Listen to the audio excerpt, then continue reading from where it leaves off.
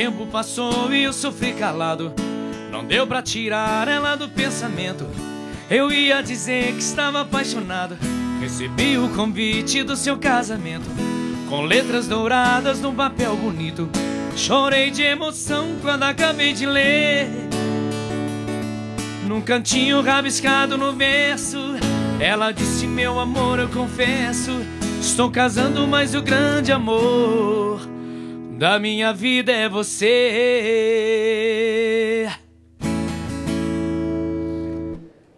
Bom, falaram pra mim que era uma dupla chamada. Uma dupla de dois, né? Pelo É, menos. dupla de dois, Uma dupla de exatamente. dois. Agora chega aqui uma dupla de um, que uma- onde é que tá o outro? O outro tá no trânsito. Esse São Paulo no é, é uma loucura. Na verdade é o seguinte, a gente sempre fala que é bom ser dupla por causa disso, né? Um fala pelos dois, Ah. Sei. assina pelos dois Sei. e canta pelos dois Sei, também. mas e quando vocês marcam um show, vão os dois ou vai um só? Não, vai os dois, vai os os dois. dois, né? Aí o pessoal não Vai o pessoal fica bravo. Prazer estar aqui com você, Heródoto. É, muito obrigado pela, pela participação. Contar um pouco da novidade do Jean Giovanni. A gente está comemorando esse, esse ano agora, chegando no final do ano, pro, pro meio do ano que vem, a gente está comemorando 25 anos de carreira já. 25 de carreira? 25 Uma de 25 de carreira e 28 de idade, é isso ou não? É, isso, mais ou menos isso. Eu, eu falo que eu comecei quando eu era pequeno ainda, aí eu cresci e continuei pequeno. Naqueles programas infantil e tal É. que tinha. Mas você começou na Rádio de Franca ou não? Você sabe que ah, lá, Eu- lá em- agora estou lembrado, eu fui uma vez na Rádio de Franca. a Rádio Franca, que- também chama Franca do Imperador. a- Franca a- do Imperador. a rádio. Tinha a Rádio Difusora, tinha o- outras rádios também. E na verdade, quando a gente começou, a gente, nós somos de Franca, interior de São Paulo. Que, que época que você começou, só para ter uma ideia? Ah, Vocês Ah, começaram, perdão. Como dupla, Ah. fazem 25 anos atrás. Mas, assim, é, a gente era um trio antigamente. Ah, era um trio? Era um trio. O trio, a gente morava na roça, Heródoto, e a, a- um, um- um rapaz que meu pai trabalhava para ele nessa fazenda falou: Não, preciso de um nome para esse trio, da- do- que eram é, três irmãos nós somos, né? Para esse trio aqui, mas é criança. Eu comecei com seis anos de idade, o outro meu irmão com sete anos e o Jean com nove. Né? E aí ele falou assim: vamos botar um nome engraçadinho e tal. Falou Sereno, Sereninho e Gauchinho. Eu era o Gauchinho. Ah, você era o. Gauchinho, né? Gauchinho. Então era um violão, né? Que o Jean era um pouquinho maior Ah. que eu. Aí tinha um violão, tinha um cavaquinho e eu tocava bandeiro, que era a parte mais difícil. Sei, mas, que- é mas fácil pra então você não tocava música sertaneja? Tocava? Tocava. Com esse instrumento aí? Eu vou te falar por quê. Ah. No interior, é muito tradicional é, a folia de reis. E a folia de reis, ela envolve todos esses instrumentos. E por que o trio? Porque folia de reis envolve várias vozes. E ali, quando o meu pai, o meu avô era embaixador de folia de reis. E quando o meu avô começou, e meu pai também cantava, e também nas folias de reis, sobravam muitas vozes. A gente era criança e começou a cantar, né? E o cavaquinho e o pandeiro é um, é um instrumento, são instrumentos muito usados Agora na, você fala da roça, o que, que o seu pai tinha lá? Seu pai tinha fazenda de café? não, meu pai... Não, a gente só trabalhava numa roça só. Ah, Ixi, Não, seu pai não era dono da fazenda de café? Me falaram que tinha uma bruta de uma fazenda de café lá. A gente só, a gente só trabalhava. Tinha um, era uma, se chamava Ciolo Pércio. Essa, esse lugar onde meu pai trabalhava lá.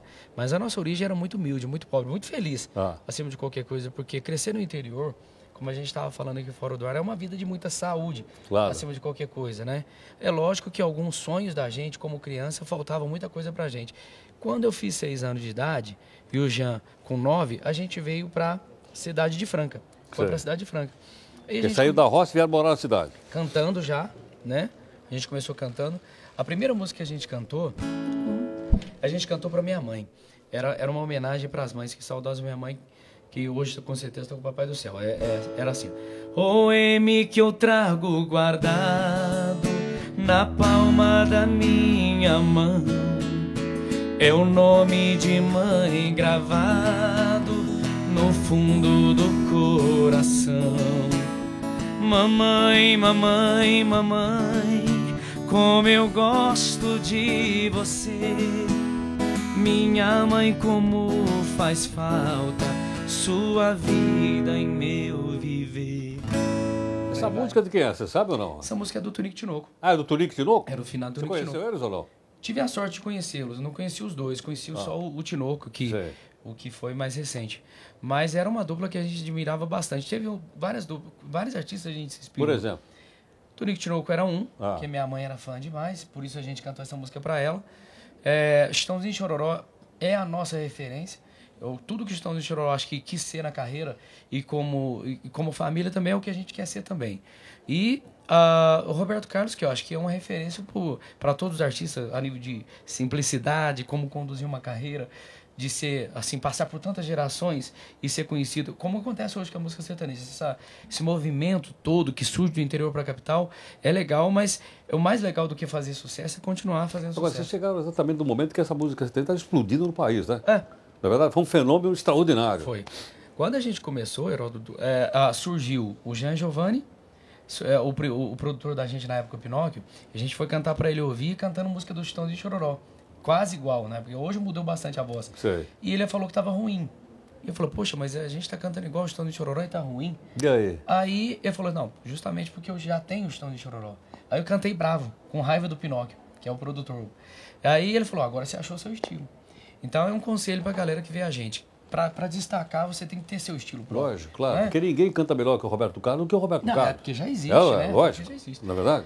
E aí são, são, são essas as nossas referências. E aí começou o Jean Giovanni, como aí veio a adolescência, quando, como eu estava te contando. A gente veio morar em Franca, depois da roça. Eu comecei a trabalhar como entregador de jornal, já fizemos uma matéria aqui. Pô, então Record aqui, ó, nós estamos jornal aqui, ó. Eu fui entregador de jornal do, Ah. do Comércio da Franca e também do Diário da Franca lá. E aí, com nove anos de idade, a gente começou os três a trabalhar entregando jornal. E participava também cantando de aniversário de criança, nos bares de Franca e tal. Aí, quando veio a adolescência, eu estava trabalhando em fábrica de calçado, como a gente falou fora do ar. Também. muito lá, né? Tem Tinha bastante. ainda, tem calçado. bastante, né? Ah, é. Acho Paulo Calçadista de calçado masculino, acho que é um dos maiores do, do, Do país, Brasil, quase do mundo aí. Tinha uma fábrica famosa chamada Samelo. lá. Ainda exi- Ainda Samelo. existe ou não? Existe aí, existe, Existe? a marca Samelo. Acho que a fábrica, eu não sei se está atuante, Tá. mas a, a marca Samelo existe. Agora, aquela história de que Franca era subúrbio de Ribeirão Preto acabou, né? Franca, Franca, Franca Toda vez que eu ia dar aula em Ribeirão Preto, o pessoal É. falava isso. "Ah, a gente vai lá para um bairro, vamos, nós vamos para Franca. É isso, é no O bairro. pessoal ficava brabo. Não, mas Franca, Franca cresceu demais, né? Apesar de que Ribeirão também é um- uma cidade maravilhosa. Nós tivemos aqui sábado agora fazendo um evento corporativo lá fechado e eu me surpreendi. Vocês fazem porque- muito evento corporativo ou não? Bastante, É. bastante.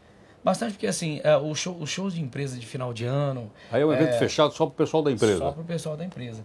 Então é um, é um show mais tranquilo de fazer, né? Mais gostoso de fazer. Sei. Todos são gostosos, mas assim, esse show é menos estressante porque envolve menos divulgação, a, a, organização é um pouco menor, mais fácil, a logística é mais fácil de acontecer. Agora, vocês estudaram onde? Vocês fizeram um colégio, um antigo ginásio? Não, você não é dessa época do ginásio? Não, eu, eu, eu, estudei, eu estudei até concluir só o primeiro grau. Ah. E a, uma das escolas. A gente era assim, Herodo. Nossa vida era tão humilde que a gente, eh, a gente mudou, morou em todos os bairros de Franca. De tanto paga, pagava aluguel num, num, num determinado ano, mudava. Pagava um ano, mudava. Acho que eu estudei em todas as escolas de Franca. E a, a, a escola que eu lembro, a última que eu estudei foi chamada Jerônimo Barbosa. Aí dali pra frente, a, a música na vida da gente, eh, a gente precisava Tem muito uma escola, uma escola religiosa lá, católica, não tem ou não? Tem, tem Onde escola. fica? Ah, agora de, de É cabeça. a região central ali, não tem? Não? Tem, no. Marista, é isso? Isso, é isso aí. Tá vendo como eu tô sabendo? Sabe por que eu nunca mais esqueci? Ah.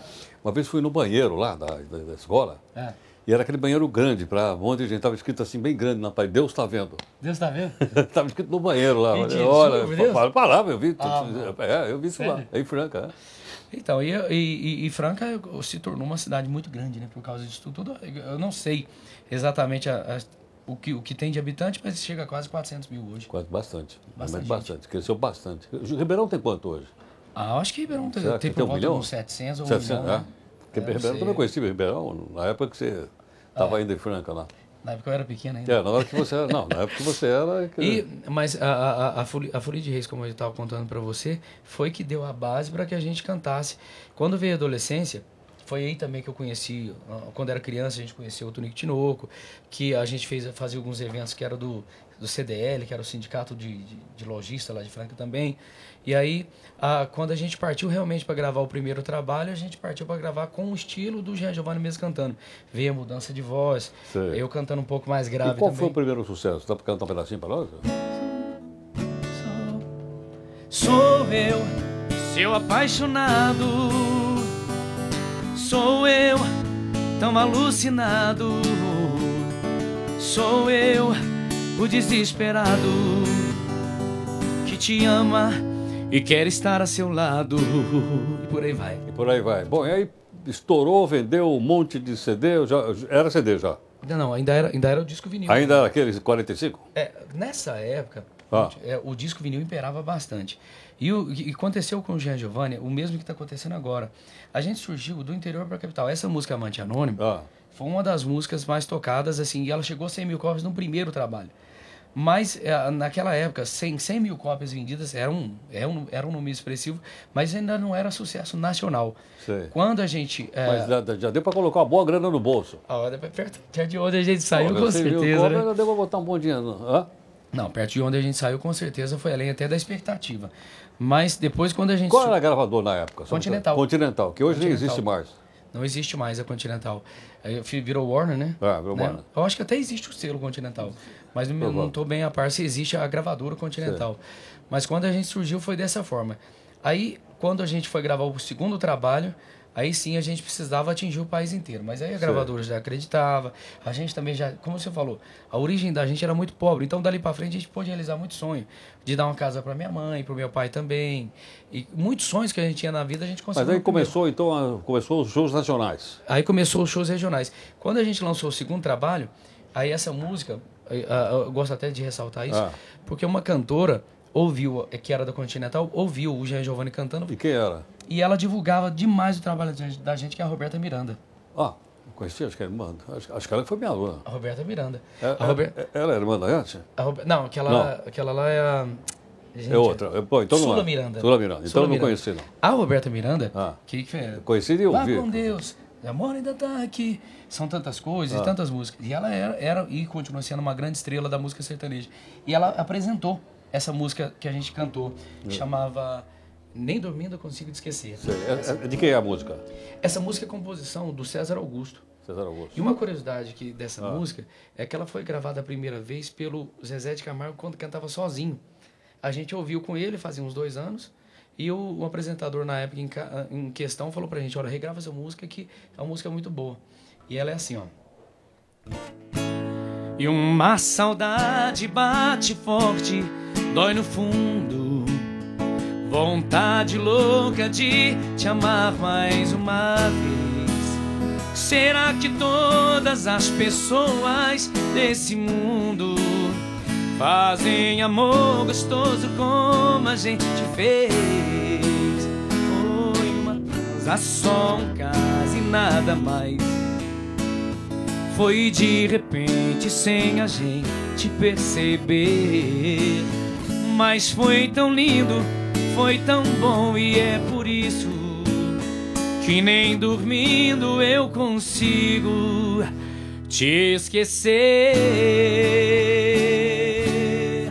Pô, isso teve um sucesso extraordinário. Foi. Né? E, nessa um sucesso época, maravilhoso. aí dali pra frente é que realmente o Jean Giovanni virou uma realidade. Esse chegou a 500 mil cópias. Esse 500 mil? Esse chegou a 500 mil Já cópias. era CD ou ainda LP? Aí já começou o caminho. Era fita cassete, C- é, CD, e DVD. DVD. Mas o DVD Aí chegar em qualquer posto de gasolina tinha para comprar. muita fita, né? muita fita. Não, é? Caminhoneiro comprava muito. Cam- Comeram, é, é, sabe que é uma classe que é, deduz, assim, determina muito o que é sucesso ainda até hoje. Quando o caminhoneiro coloca ah, sempre aquela música na, na, na boleia do, do caminhão para estar viajando, e é uma música que o caminhoneiro é sempre apaixonado também, né? Como é o caso de dupla sertaneja, que a gente viaja muito. E o caso do, do- de caminhoneiro também é assim.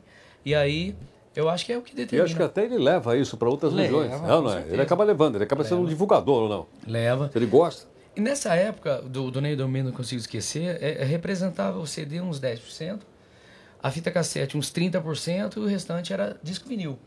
Do Olha Amor pra Frente, que Se foi. você chegar para garotada e falar que é uma vida cassete, ninguém sabe o que é. Não Pegando uma lançada do que é, ninguém não tem nem ideia do que você. Não, mas foi, foi, um- foi uma época que, na verdade, eu preferia a época do vinil, que era menos pirataria. Mas de qualquer forma, com tudo a gente aprende. Aí dali pra frente veio o, o CD e aí realmente. Uma coisa, quando é que vocês montaram uma banda organizada e tal para poder viajar pelo país?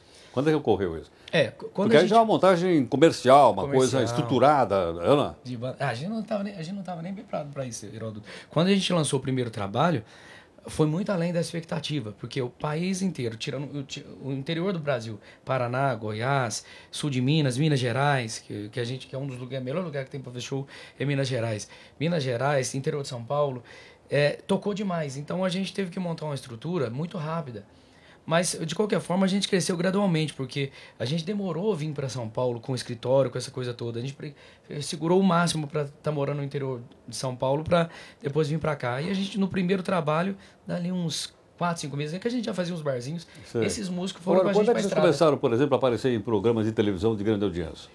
O primeiro programa de televisão que a gente apareceu na vida foi do Marcelo Costa na TV Record. Ah, na TV Record? Mas Na TV era Record. no sábado à noite? É, o espe é especial sertanejo. Eu me lembro. Era, acho que era é, sábado à noite. Eu me recordo. A gente estava atrás lá do, do, de entrar no camarim, era o seu Mujica, né, que era o diretor do programa, o Marcelo Costa apresentava.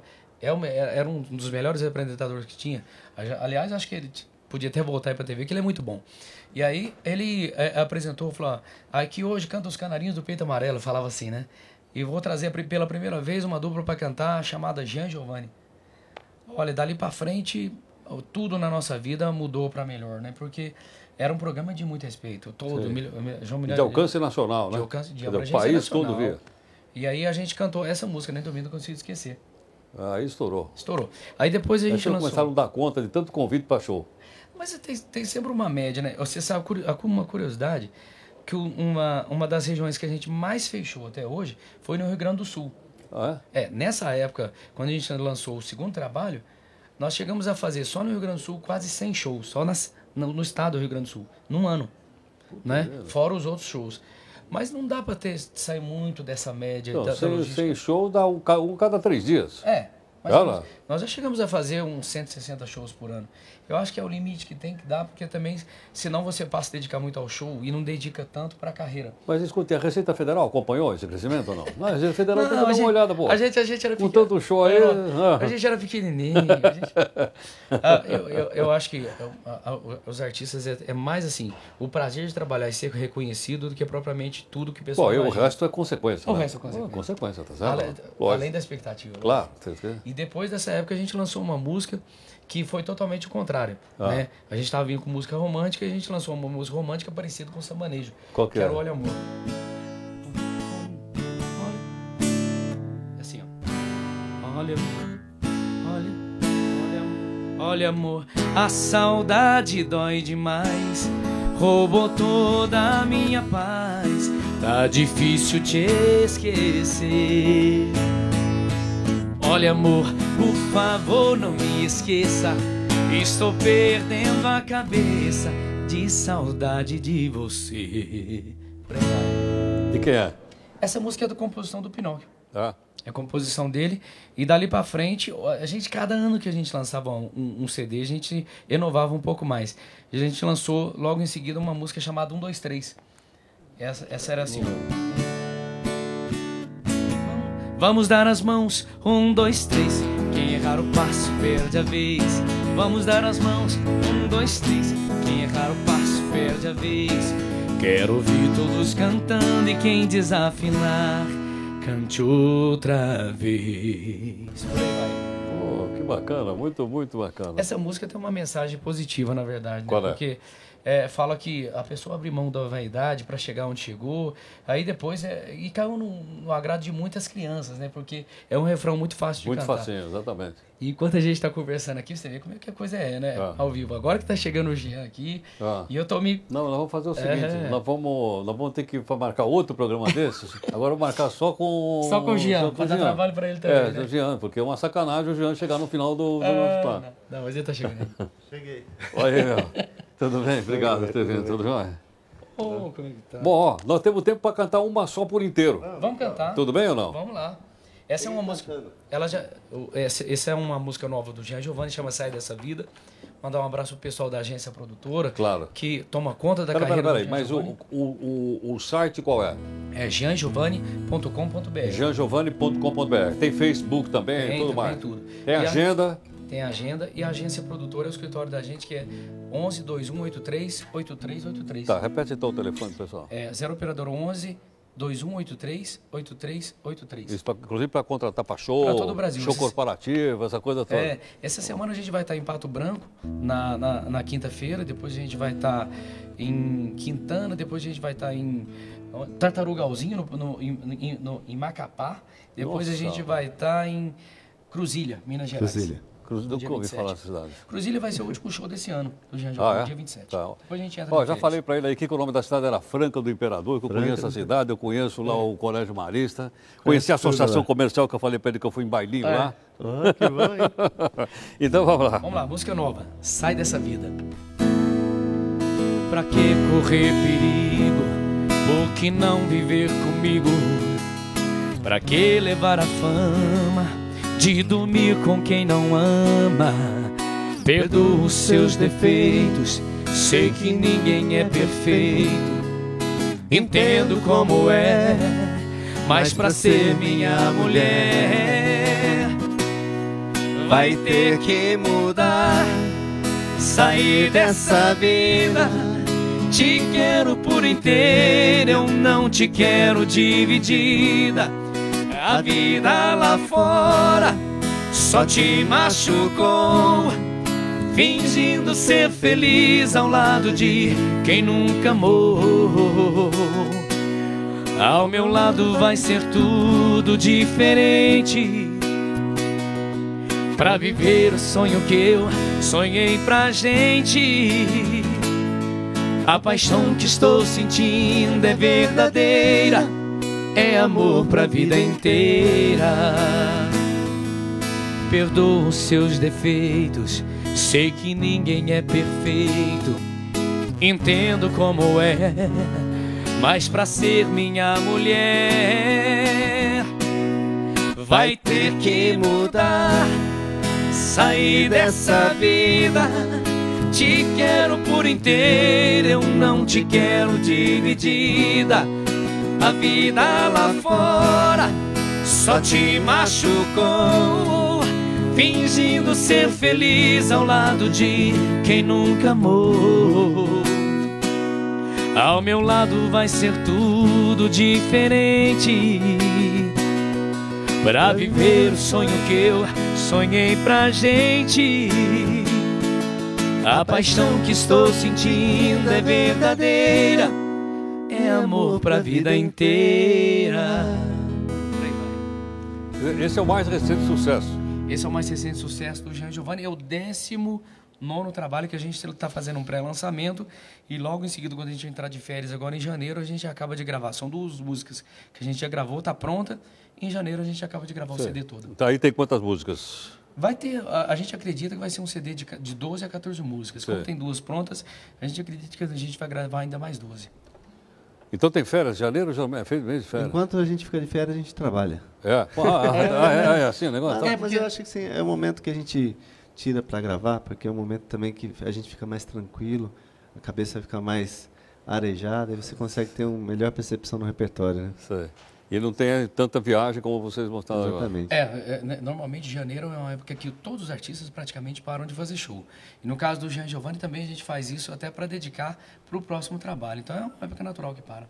Tá bom. Bom, nosso tempo infelizmente está esgotado. Eu queria agradecer a gentileza só Obrigado. da vinda de um lado, da dupla, a dupla de um. Obrigado. Então fica para uma Obrigado. outra oportunidade. né? E que se Deus Eu quiser. imagino que você deve ter participado de muitos programas de televisão. Isso aqui é uma parte de um telejornal, né, que é o telejornal aqui da Record News. Verdade. Nós estamos ao vivo aqui no portal, que é o Portal R7. Nó- Uma das músicas, nós vamos encerrar o jornal hoje. E no final de semana, eh, nós temos um programa chamado Talentos, que são as- essas apresentações. Então, uma delas, certamente, nós vamos ter vocês lá. Muito obrigado, Muito então, pela obrigado. vez. Obrigado Uma honra a ter você. vocês aqui. Obrigado. Falou? Até mais. E Obrigado. fala pro Marcelo Rezende não ficar roubando os caras que a gente Marcelo. aqui. Marcelo, eu sou fã dele. Eu, eu até imitei ele lá. Obrigado. Corta pra mim, é isso? Esse, co- conta pra mim, conta. E, e, como é que fala? Conta pra mim, conta pra 18. Falou, pensa no seguinte. Até mais, gente. Obrigado. Ninguém é perfeito. Entendo como é.